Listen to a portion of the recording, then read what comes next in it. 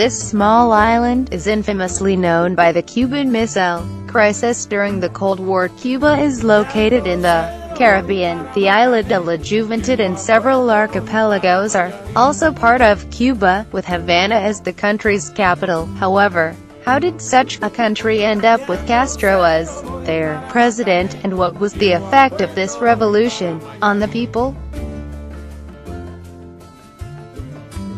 It is argued that the Cuban Revolution started with Batista. Moreover Fidel Castro and Raul Castro are the people that instigated the revolution. Before Batista's final presidency, he had control of Cuba's former presidents. Then in the 1940 elections, he officially became president of Cuba. However in 1952 he led a military coup cancelled the elections, and gained control of Cuba's government once again. Batista's corruption did not end there, he suspended many political rights, and made deals with wealthy landowners who owned huge sugar plantains, the American Mafia, and multinational American corporations, all of this weakened the already fragile economy, making drugs and other vices a real threat in Cuba, also a strict censorship of the media was in effect under Batista. Batista's corruption led a young lawyer, Fidel Castro, to an armed revolution with his brother Raul, after his attempts in Cuban courts failed to stop Batista. The first attack was the ambush on the Moncada barracks, on July 26, 1953, in Santiago, Bayamo, nine revolutionaries were killed in the attack, and 56 were killed, after Batista's men captured them, out of 103 revolutionaries claims Castro, Fidel Castro, his brother Raul, and Fidel Castro's second-in-command, Abel Santamaria were captured either that day, or later. Abel Santamaria was killed and tortured, while Fidel and Raul Castro were sent to trial. Fidel Castro was given 15 years, and Raul was sentenced to 13 years, at the Presidio Modelo prison, on Isla de Pinos. Later, Batista released the Castro brothers, and exiled them to Mexico.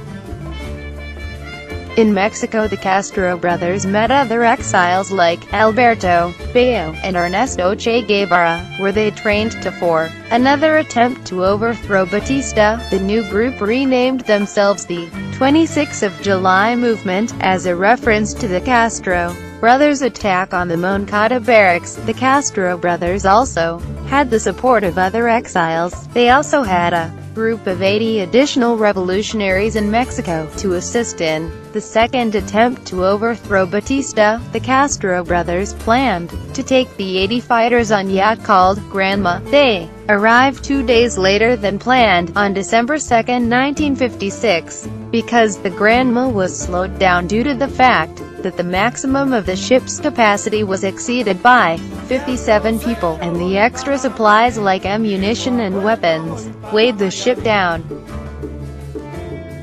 Fidel and Raul Castro planned to coordinate an attack with the Llano section of the 26th of July movement, after the yacht landed in the Playa Los Coloradas in Niquero. The 82 revolutionaries headed to the Sierra Maestra Mountains in the southern Cuba in the Oriente province, which is now called the Guantanamo province. The revolutionaries tried to meet up with the Llano part of the movement, who were disarrayed. Because of the two-day delay, But Batista's men killed many of the 26th of July movement fighters, it is speculated that only about 20 of the original 82 men made it to the mountains, although the exact number is uncertain.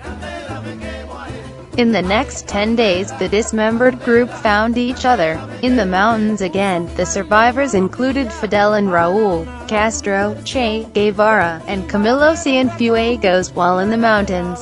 The three men also had the help of the poor and Abel Santamaria's sister, Hayde Santamaria as well as Celia Sanchez. Even though the beginning of the Castro brothers' takeover of Cuba started with two embarrassing failures, they were still able to gain power with other influential revolutionaries. This would help Castro gain the Cuban people's support that lived in the mountains, to help them make the Sierra Maestra Mountains their base of operations until the takeover of the Cuban government, and this eventually helped the revolutionaries take over the whole Oriente province. In the mountains, Fidel Castro got additional aid from Frank Hayes, Ramos Latour, Huber Matos, and some others who helped Castro lead successful attacks on small groups of Batista's troops, while Raul Castro and Che Guevara gathered political support for Fidel Castro in the mountains, through killing Batista loyalist, anyone who did not support Fidel Castro, and even people who could rival him politically.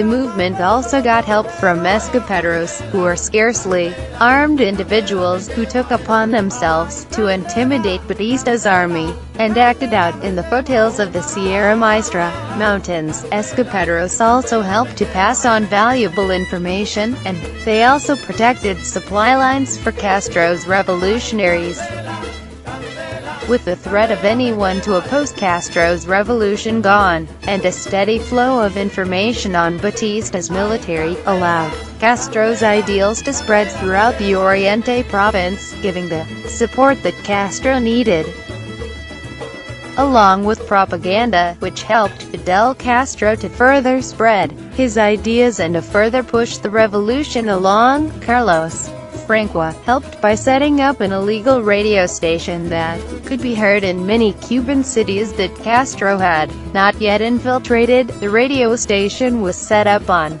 February of 1953, and was named Radio Rebel, or Rebel Radio in English. The radio station reached an audience that could help Castro convert cities that were hard to take over to due to the strong military presence that Batista had stationed in them. While Castro was waging his revolution, his movement was still reduced to about 200 to 300 men. The revolutionaries were fighting against Batista's 37,000 trained men. Also America had put an embargo on Cuba in March 1958, without the military supplies necessary to replace or fix broken weaponry. Batista's men were losing the upper hand that they once had on Castro's rebels. This forced Batista's men to retreat time after time again. Since Batista's military was failing to put a stop to Castro, he decided to launch an attack directly on the Sierra Maestra Mountains. This attack was called Operation Verano, but to the revolutionaries it was known as La Ofensiva. Castro's men defeated a 500-man battalion during the Battle of La Plata on July 21, 1958. It was reported that 240 of Batista's men were captured, while only three of Castro's men were killed. Castro almost lost on July 29, 1958, at the Battle of Los Mercedes. Castro sent about 300 men, who were easily dominated by Batista's army. When this happened Castro asked Batista for a temporary ceasefire on August 1 to pointlessly negotiate an agreement that would never happen. It later became clear that the negotiations was a ploy for Castro to buy time, so that he and his men could escape to the mountains. This signified that Batista's big attack was a complete failure, and that the end of Batista's power was closer than he might have wanted. A series of other successful battles led by Che Guevara, Camilo Cienfuegos, Jaime Vega, and others added more and more cities to the list of cities that were under control of Fidel Castro. The combination of these events and the Battle of Santa Clara caused Batista to flee. After the takeover of Santa Clara there was no resistance for the movement when they went to take other cities. This eventually led to Fidel Castro gaining power of all of Cuba. For some Cubans the Castro takeover of Cuba was a positive outlook for Cuba's future. However for many Cubans, including Juan and Loida Basallo, Fidel Castro's takeover meant that they would never be able to see their country again, let alone their childhood homes. The brutality of the rebels affected everyone. The attacks were not only on government troops, but innocent people also got caught in the crossfire. First the violence was in the Oriente province, starting with events like ambushing hospitals and opening machine gun fire on the sick or injured while they slept, as well as forcing farmers to give them a place to stay in, to cook for them. With guerrilla tactics like these it was clear that people's rights were being violated. There were also many bombs set up in Havana by people who wanted to assist in Castro's revolution.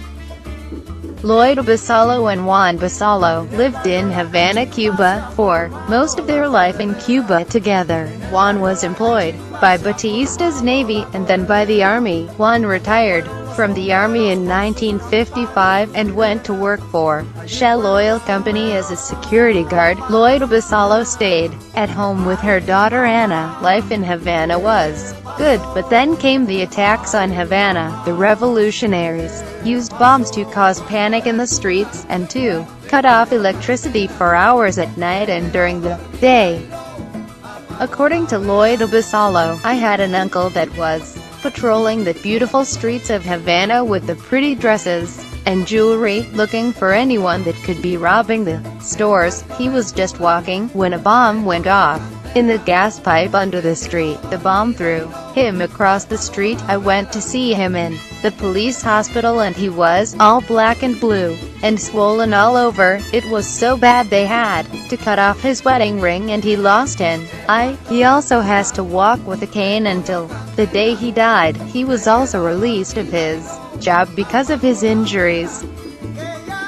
Also when the people did have power the televisions were flooded with rebel propaganda, long-winded speeches by Castro that lasted 8 or 9 hours a day, and airings of brutal mass murdering of Batista soldiers. None of the killings or speeches were announced ahead of time.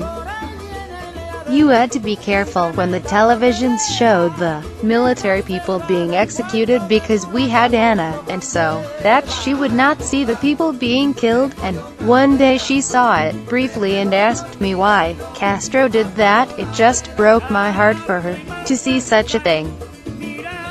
Obviously, the rebels' actions led to fear among everyone. People feared the revolution, for what would come next, and for what it meant for them. Lloyd and Juan had no control over the disasters that were happening around them, and hoped that it would get better.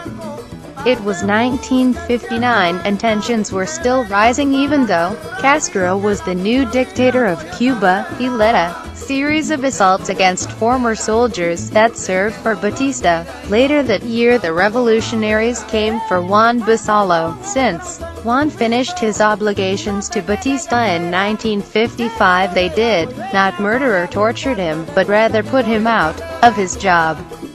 The rebels came to the Basalos house one day out of the blue, with their machine guns slung around their shoulders. They had the long beards and the green uniforms. The Castro military men asked Mrs. Basala for Juan's old military uniforms, and his work uniforms that he had for being a security officer at the Shell Oil Refinery Company. They had also asked for Juan's gun and gun license. You had to give them what they wanted and not talk back, or else they would shoot you right there. Juan could not go back to work because he didn't have his uniform and gun to do his job.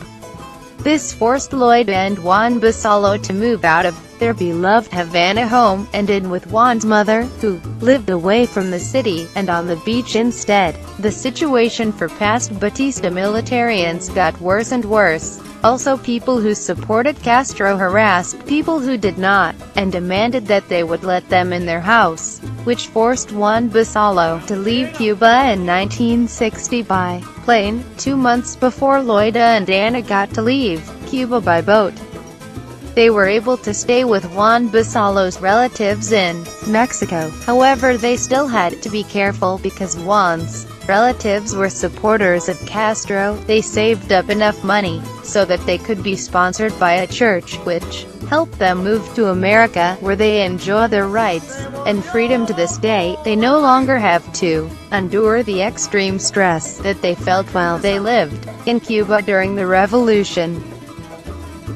Cuba, a place where a revolution happened that affected more people than was anticipated, a once promising president, Batista, became the instrument of not only his but many others' demise. It is often said that revolutions are not very revolutionary. This can be applied to the Cuban Revolution, because many Cubans lost their lives and rights only to have a oppressive form of dictatorship be replaced with an oppressive communist dictatorship. It is hard to say when the revolution ended. To many people it has ended as soon as Castro took over, and to others like Fidel Castro himself, the revolution is a continuing part of history that will not end. However for Juan and Manuel Basallo the revolution has ended, even though Cuba is no longer the Cuba they once knew, they are still proud to be called Cuban American.